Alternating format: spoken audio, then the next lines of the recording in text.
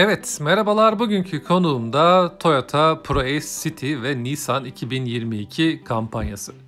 Özellikle B segmenti hatchback araçlarda otomatik şanzımanlar bile %80 ÖTV'ye geldiği için ticariler bu camlı versiyonları %15 ÖTV'li haliyle B segmenti araçlarla rekabetçi hale geldiler. Çok daha büyük alanlar, dizel motor ve otomatik şanzıman detayıyla burada PSA kardeşlerden birinin yanında Pro Ace'i de görüyoruz bildiğiniz gibi. Toyota showroomlarına gittiğinizde Pro Ace City bulunabilir modellerden bir tanesi. Corolla bulamasanız da Pro Ace'i bulabiliyorsunuz.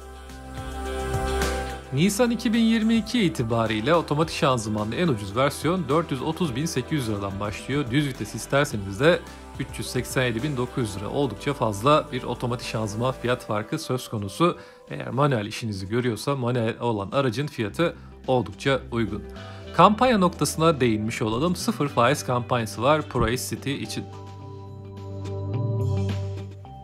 80.000 TL'ye sıfır faiz kampanyası açıkladılar 12 ay için. Hem Pro City hem de Pro City kargo modelleri için bu kampanya geçerli. Aracın tasarımına baktığımızda PSA kardeşlerle benzeştiğini görüyoruz. Direksiyon tasarımında logo her ne kadar Toyota olsa da Citroen'de kullanılan direksiyonun da bu araçta olduğunu görüyoruz.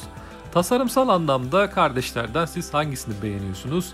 Toyota markası özellikle satış sonrasıyla bildiğiniz gibi ünlü Pro City'de bu desteğe sahip olan ürün olarak gözüküyor.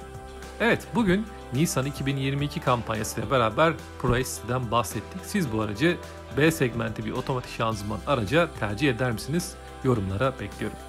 İzlediğiniz, dinlediğiniz için teşekkürler. Takipte kalın.